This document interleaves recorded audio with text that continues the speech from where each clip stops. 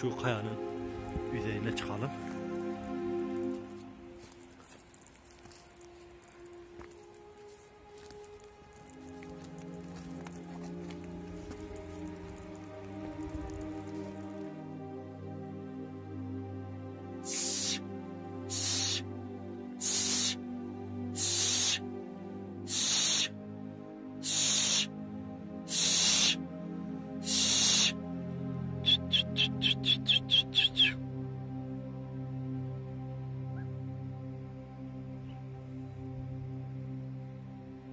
Birazdan yine geri dönecekler.